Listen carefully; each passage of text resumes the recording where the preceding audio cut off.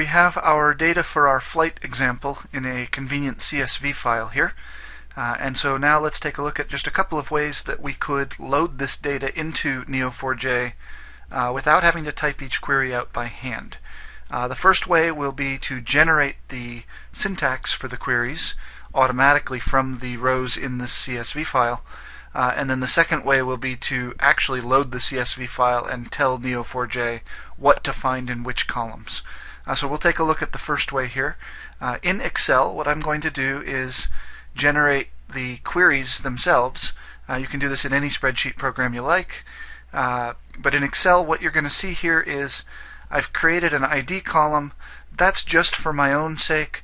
I'm going to give each query a different node name, and I'm just using that ID column to come up with the node name. Uh, because you're going to run these queries one at a time, you could just call them all n, for instance. Uh, but I prefer to have n1, n2, and so on.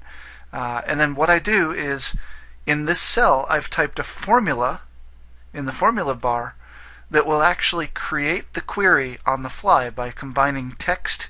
So you can see I've put in quotes create open parenthesis n end quote and then it looks up what's in cell F2 which is the ID column value.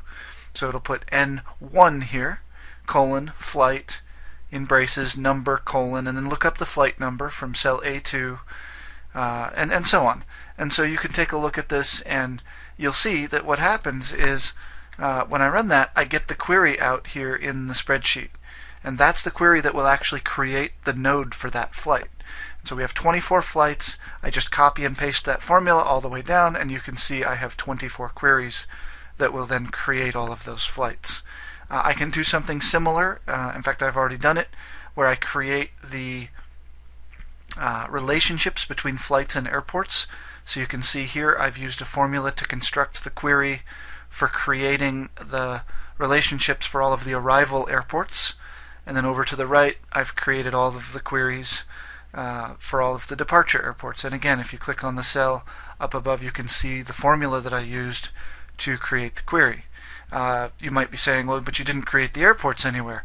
Uh, so sure enough, here they are up above. And there are just four of those, uh, so I created those by hand. So I just typed out the queries. Uh, but again, you could do, if you have a lot of these, you could do a fancier lookup sort of a feature, find all the unique airports and assign all the appropriate values. Uh, but I just did these four by hand. Uh, so those are the, the four sets of queries. I've got the airports, I've got the flights created, and then I've got the arrival relationships and the departure relationships. And then what I can do is, starting with the nodes, I, I have to create the nodes first and then I can create the relationships. I can just do a copy of this cell and then go to my web admin browser uh, and I could paste it right into the command line. Now, the one thing to be careful about, it doesn't it lets you paste multiple lines in at once, but it will not run more than one query in the command line. Uh, so they're working on that. It's just not a function that's available yet. It would be nice if I could copy all 24 in here and run them all at once. On the command line, that's not possible. But it's a relatively small data set, so if I wanted to, I could copy one at a time and run it, and that wouldn't take too long. Uh, that would, however, get very frustrating for a much larger data set. Uh, so that's the first way that I can import data from CSV files. There is another way, uh, and we're going to take a look at that in the next video.